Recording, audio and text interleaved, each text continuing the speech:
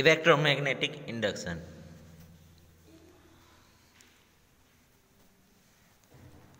We have studied that when a current carrying conductor is placed in the magnetic field such as the direction of the current okay is perpendicular to magnetic field okay it is what okay it is totally perpendicular to whom okay it is perpendicular to the magnetic field okay which we have already studied it expresses a force and due to which we will see or observe a it will express what okay it will experience a force. Okay? The force will be experienced by this phenomena. And this force causes what okay conductor to move. And due to which okay due to the force we are observing that what okay conductor will move. Why? Because here in this case you can see that because of the direction of the current is perpendicular to whom? Okay magnetic field. Okay magnetic field are applied on which way? Okay perpendicular to the direction of a current. Magnetic field is applied to the perpendicular direction of a current. And due to which what? Okay force will be generated or force will be applied and due to this force what will be seen? Due to this force conductor will move. What? Okay conductor which we have placed that will move easily. Okay? Now let us imagine a situation in which conductor is moving inside a magnetic field. Okay? Now we will study a new situation or a new imagination or situation in which we will study that conductor which are there is moving inside a magnetic field or magnetic field is changing around a fixed conductor.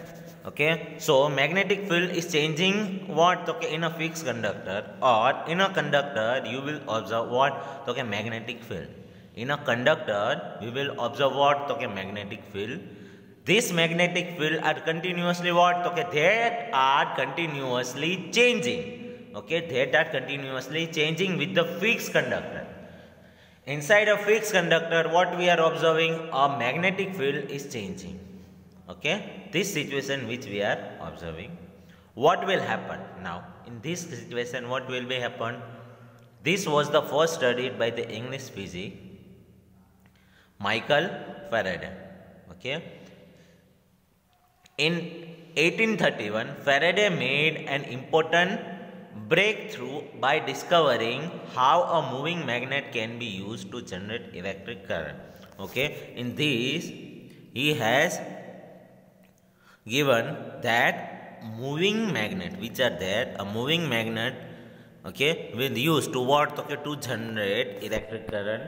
To generate electric current moving magnet will be used to observe this effect let us perform a following activity. Okay? One activity we will observe. Okay here in this you can see that what okay moving a magnet towards a cell. Okay here you can see that set up a current in the coil circuit as indicated by the deflection of galvanometer needle. Okay through a galvanometer needle we will observe it that what okay moving a magnet what will be seen? On moving a magnet a current also changes. Okay you can also check that if you had moved south pole of a magnet towards the end b of a coil. Here okay?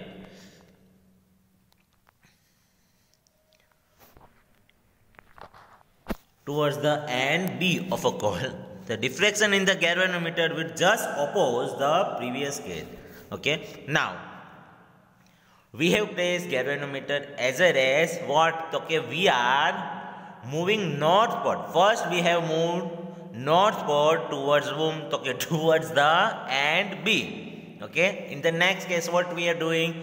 We are totally reversing reversing magnet. Okay now in place of north pole okay south pole will be moved towards whom? Okay south pole will be moved towards the end b. And due to which and due to which what okay due to which deflection in a galvanometer will totally what okay it will be totally opposite. Okay on moving south pole towards the b and b of a coil we will observe a deflection in a galvanometer will totally opposite with the previous one. Okay from the previous one we can observe that galvanometer will show deflection totally opposite okay? When the coil and the magnet are both stationary. Okay? When we are what? Are pressing stationary. Stationary means what? Both are stable. There is no deflection in the galvanometer. Okay? Galvanometer will not show any difference and it thus clear from the this activity that motion of the magnet with respect to coil produce an induced potential difference what will be seen? Induced potential difference will be produced which set up an induced electric current in the circuit. And due to which in a circuit what? Okay induced electric current will be formed. What? Okay induced current will be formed in the circuit. Okay here in this case you can see that. Current is induced in coil 2 when current in the coil 1 is changed okay? When we are changing what? Okay current in the coil 1 here we have taken two coils. Okay? In that you can see that in first coil we have placed what? Okay key as well as what? Okay battery or a cell. Okay? In the next we have what?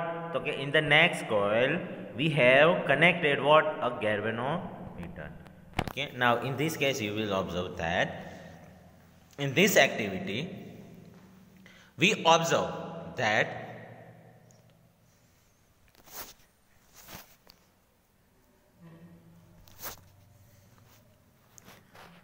As soon as the current in the coil 1 reaches either a steady value or 0, the galvanometer in the coil 2 show no deflection. Okay, what? Okay, in this case, okay, in the previous circuit we have observed that two coils are attached. Okay, in the first coil, what? In the first coil, what? Okay, we have attached a battery or a cell. Okay, with that first cell or a battery, we have also connected a key okay we have connected key and on a second coil okay you know a second coil we have attached what okay we have connected galvanometer okay now what we are doing as soon as the current in the coil 1 reaches either a steady value or 0 okay when the current in the coil 1 are steady value or either it be 0 what will be seen that a galvanometer which are connected in the coil 2 will show no deflection. No deflection will be seen in the coil second. Okay, when there is a steady current or a zero current is passed in the coil 1. Okay, so from this observation, we conclude that potential difference is induced in the coil 2.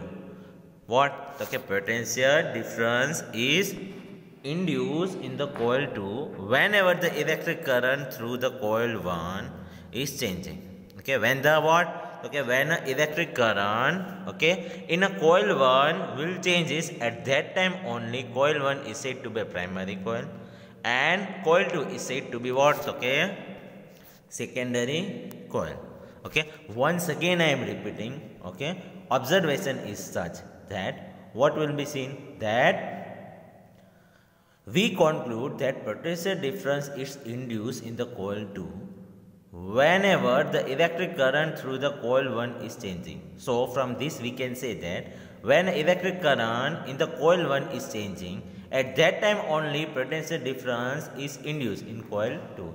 In coil 2 what will be seen? A potential difference is induced at that time only when when a first coil okay current will be changing. So from this we can suggest or conclude that on changing a electric current in the coil 1 at that time only potential difference is induced in the coil 2 okay now in coil 1 we can see that primary coil is there in coil 2 we are observing that secondary coil is there okay so from this we can say that as the current in the first coil changes okay just now we have discussed that what on changing a current in the first coil, the magnetic field associated with it also changes. Okay. So, on changing a current in the first coil, magnetic field will also changes and thus the magnetic field line around the secondary coil also changes. And due to which we are observing that on the secondary coil also what? Okay magnetic field line will also changes.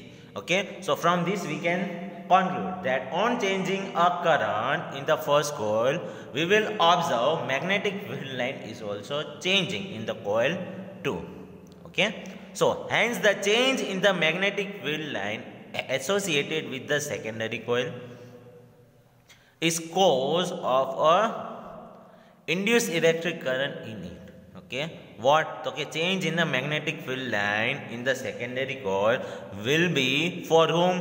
Okay because of induced electric current which are present in the coil 1 okay? So this will be the process. And this process by which a changing a magnetic field in the conductor induce a current in another conductor okay? So here you can see that on changing a magnetic field or change in the magnetic field in the conductor induce a current in the another conductor. Okay? And this is known as what? Electromagnetic induction. Okay? And this is said to be what? Electromagnetic induction. Okay? In practice we can induce current in a coil either by moving it a magnetic field or by changing a magnetic field around it okay? It can be induced or a induced current can be formed in the coil by whom by which method? By moving a magnetic field or changing a magnetic field. We will observe.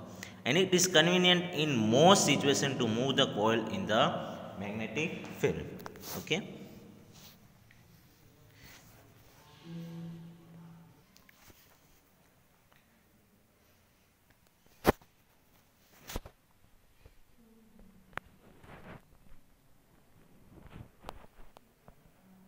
Now, Fleming right hand rule. Okay, in this we can see that motion. Okay, as you can see that motion, field and induced current. Okay, three of them are observed. Okay, as you can see that movement of a conductor. Okay, which we say it is a motion. Okay, field, magnetic field. As you can see that magnetic field. Okay, by the Fleming right hand rule, we can see that direction of a field motion and induced current. Okay, as you can observe that movement of a conductor, okay, we have taken a thumb, our thumb as a movement of a conductor. Okay, now the second is what? Okay, magnetic field. Okay, magnetic field which will be our first finger. Okay, and our wrong finger or a second finger which are indicating what? Okay that are indicating induced current. Okay so from this Fleming right hand rule we can observe that movement of a conductor which are showing a direction as a thumb. Okay thumb which is directed as a movement of a conductor. First finger which are as a magnetic field. And a second finger or a wrong finger are said to be what okay current induced in the conductor. Okay so this way you can see that the direction of a motion field and induced current by the Fleming right hand rule. The induced current is found to be highest when the direction of a motion of a coil is at a right angle to the magnetic field. Okay here you can see that. Okay that induced current will be found what? Okay highest okay when the direction of a motion of a coil direction of a motion of a coil okay are at what? Okay are at right angle to the magnetic field. Okay to the magnetic field it will be preparing what? 90 degree or a right angle. At that time we will observe that the induced current will be maximum okay or the highest In this situation, we can use a simple rule to know the direction of an induced current. Okay, stretch the thumb, forefinger and middle finger of a right hand so that they can perpendicular to each other. Okay, stretch a thumb. Okay, we are what? Okay, we are stretching our thumb and our forefinger and middle finger okay of a right hand so that they are perpendicular to each other. Okay as you can see on stitching this we are observing that they are what okay they are perpendicular to each other. And a induced current will be maximum. When it will be maximum? When a direction of a motion of a coil is preparing or making right angle with whom? To the magnetic field. Okay at that time we will get a maximum induced current okay? At that time we will get maximum induced current okay? So once again i am repeating okay? When the direction of what okay direction of a motion of a coil and magnetic field are making what okay right angle okay with each other at that time we will get a maximum or a highest induced current. If the forefinger indicates the direction of a magnetic field and the thumb show the direction of a motion of a conductor then the middle finger okay? Then what? Okay middle finger will show the direction of an induced current. Okay? This simple rule is called Fleming right hand rule once again i am repeating what is Fleming right hand rule? Okay. We have taken our right hand. Okay. In right hand our thumb which are indicating what? Okay. Direction or a motion of a coil or a object. Okay. Our forefinger. Okay. What? Okay. Our forefinger are indicated as what okay it is indicating a magnetic field direction. Okay and our middle finger which are there. Okay which are indicating what? Okay they are indicating a induced current direction. Okay so by this you can see that when the thumb and magnetic field are making what? Okay right angle. At that time we will get maximum amount of induced current. Okay so direction which will get and maximum amount will be shown. Now electric generator. Based on the phenomena of electromagnetic induction the experiment studied about generate induced current which is usually very small. This principle is also employed to produce a large current for use in the homes and industry. In an electric generator, machinery or mechanical energy is used to rotate a conductor in a magnetic field to produce electricity. Okay, which we are mostly seeing that electric generator which are there in which you will see that mechanical energy okay which is used to rotate what? Okay mechanical energy is used to rotate conductor in a magnetic field to produce what? Okay to produce electricity. Okay so in this we can see that what? Okay in electric generator mechanical energy or a machinery energy. Okay that is used to rotate what? Okay mechanical energy is used to rotate a conductor in a magnetic field okay? And due to which we will observe that electricity will be produced or generated. Okay? So electric generator are such in which we will observe that mechanical energy will use okay to rotate a conductor in a magnetic field and due to which we will see that electricity will be formed. An electric generator okay which we will see in figure 13.19 consists of a rotating rectangular coil ABCD placed between the two poles of a permanent okay as you can see that. North and south okay which are given as a magnet. In between that you can see that ABCD are placed which are rectangular okay and in that also ring is there R1 and R2 ring okay. Two ring are there. How many ring are there? Two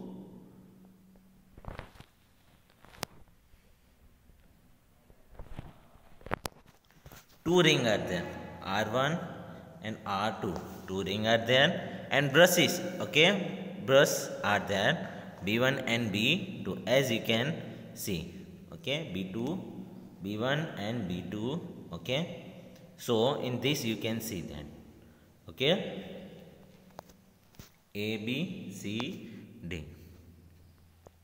Now the two end of this coil are connected to the two ring R1 and R2 as you can see the two ends are connected with whom? Okay r1 and r2 ring okay? The inner side of this ring are made with the insulated okay? This ring inner side are prepared with by whom? Okay by it is prepared by the insulated substance. The two conducting stationary brushes okay which are b1 and b2 are kept placed separately on the ring r1 and r2 respectively as you can see b1 and b2 are brushes are placed okay and with them okay as you can see that the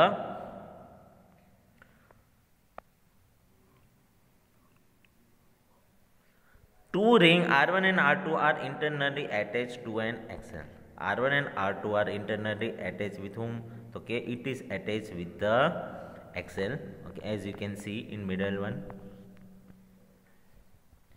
The axle may be machine mechanical rotate from outside to rotate the coil inside the magnetic field okay? Inside the magnetic field you can see outer end of a two brushes are connected to the galvanometer. As you can see that it is connected with whom? Okay galvanometer which are in the bottom okay in the bottom you can see that galvanometer are attached okay with b1 and b2 brushes okay.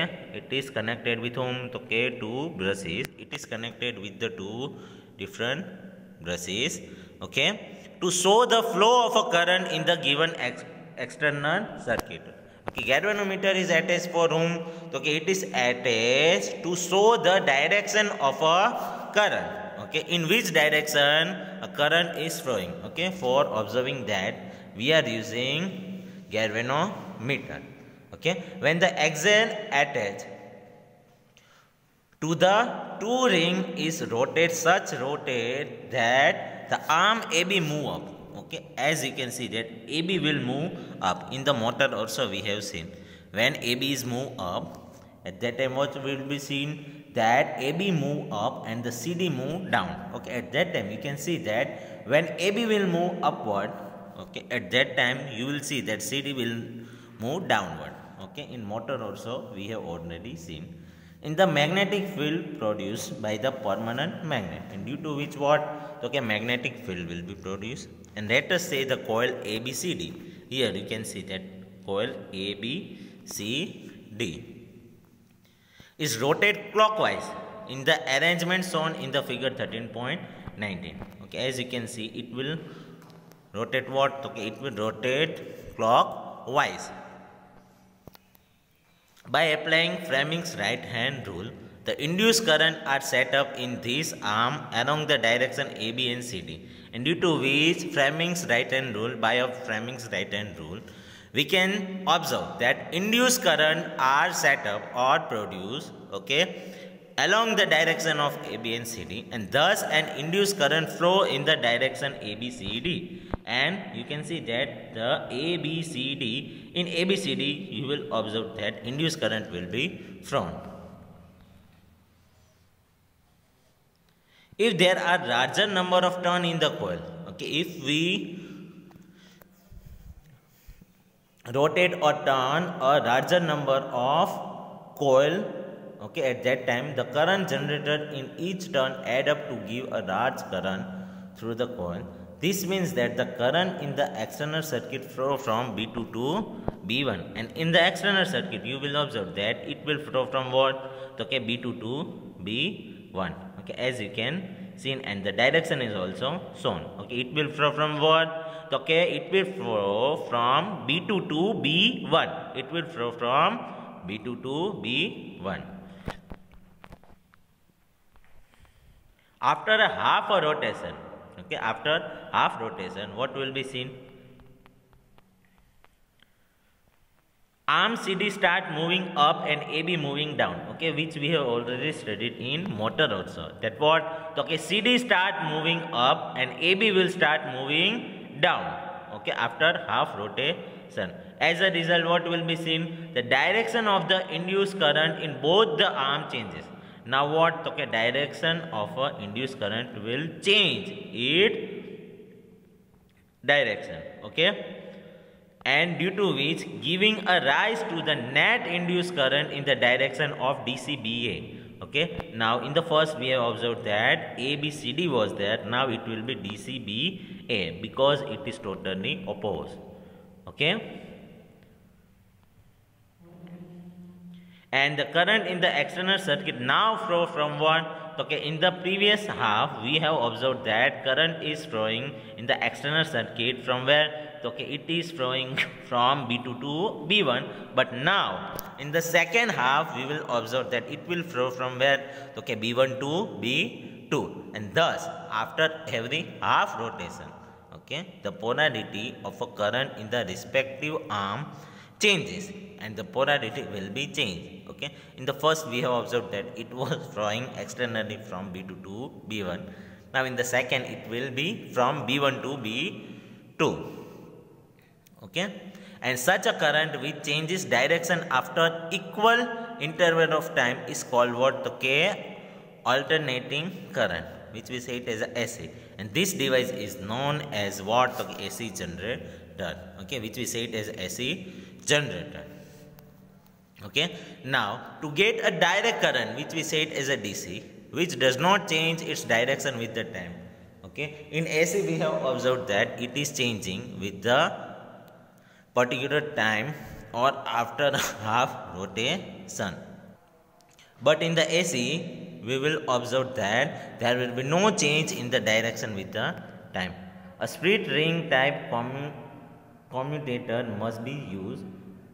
With this arrangement, one brush is at all time in contact with the arm moving up in the field, while the other in the contact with whom the arm moving downward. Okay, so one will be one okay one will be permanently connected with whom okay which are moving upward arm which are moving upward and one will be where the okay where moving downward okay on the arm moving downward one is at a, on a arm moving downward and one with the arm moving upward we have seen the working of a split ring commutator in case of electric motor okay which we have already studied now thus the unidirectional current is produced. Unidirectional means what? Okay, direct current which we say it as a and the generator is thus called DC generator. Direct current which we say it as a direct current. The difference between the direct and the alternate current is that the direct current always flow in the one direction. Okay, direct current okay which are flowing in the one direction or which we say it as a unidirectional okay whereas alternating current reverse its direction periodically okay AC current which we say it as AC alternative current will change. Its what? Okay it will change its direction periodically. Okay after some time it will change its direction.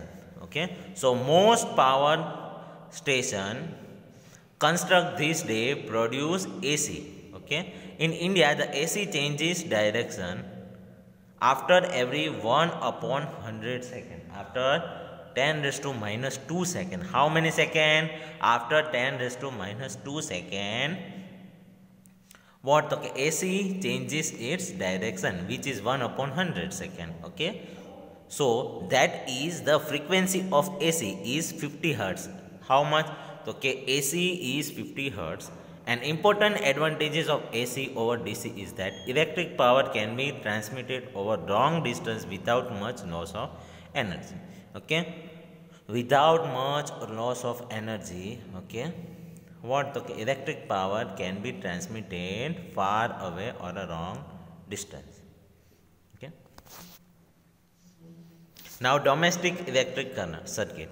In our homes, we receive supply of electric power through a main supply, also known as a mains, either support through overhead electric power poles or by underground cable, okay, which we are seeing on okay underground cable are there as well as many wires are there okay in which we are saying earthing also okay earthing wire are there live wire are there neutral wire are there all these things are there okay.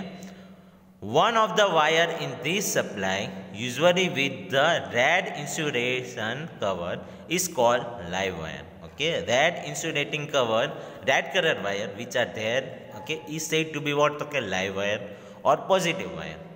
Another wire with the black insulation okay black insulation wire is called what? Okay neutral wire. In other country the potential difference between the two is 220 volt. Okay in other country we are observing that what? Okay their potential difference is 220 volt. At the meter board in the house this wire passes into electricity meter through a main fuse. Through a main fuse where okay into electric meter it will pass.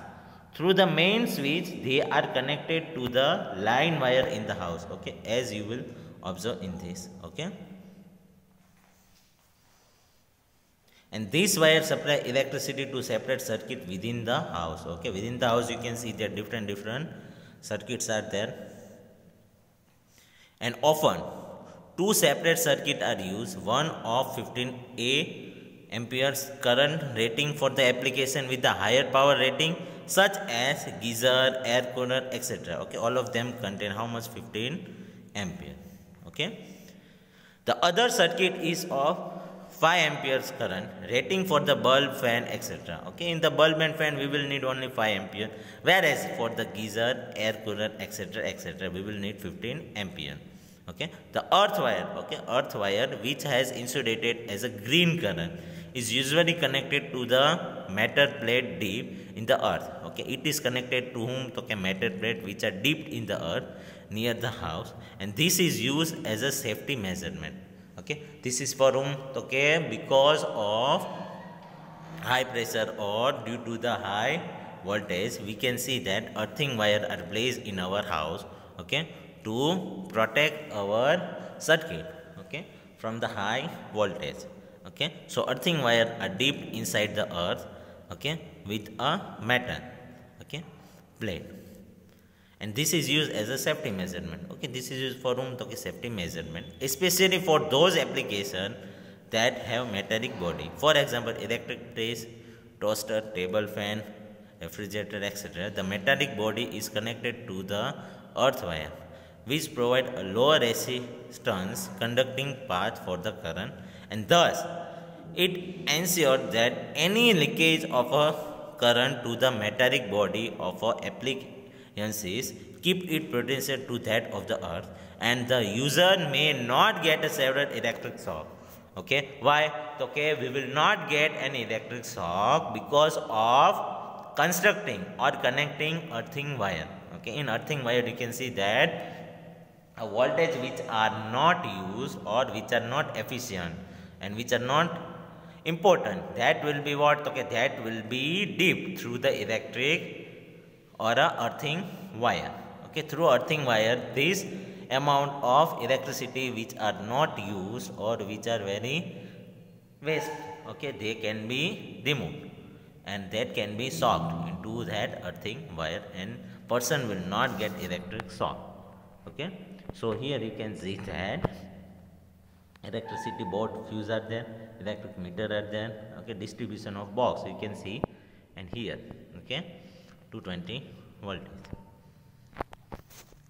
As you can see here, give a schematic diagram of a one of the common domestic circuit. In each separate circuit, different appliances can be connected across the live and neutral wire, okay, as you can see.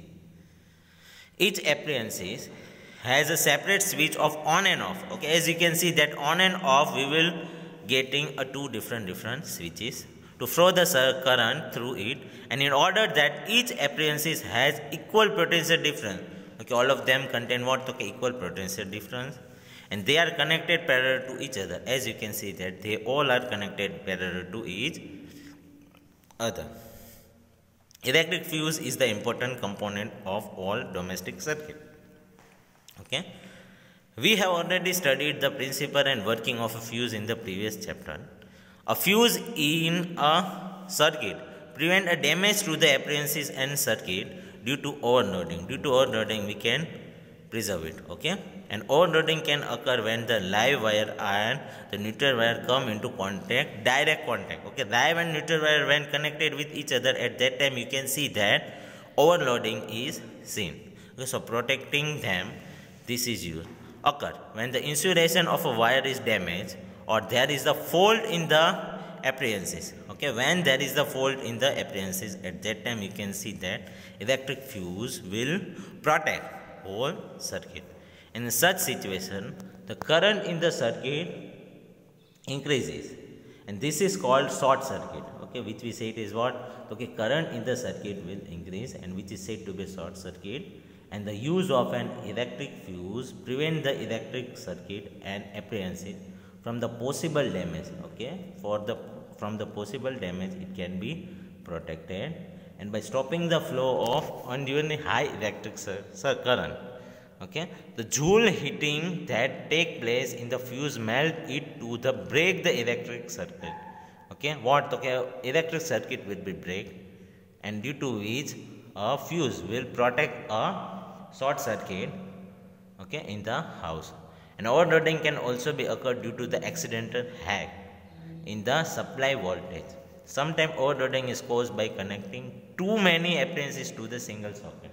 In the single socket, if we are connecting a maximum amount of appliances, then also short circuit chances are there. Okay, so we can preserve our home or domestic circuit by giving a proper amount of fuse as well as earthing connection okay? So there is a necessity of earthing connection as well as fuse in our house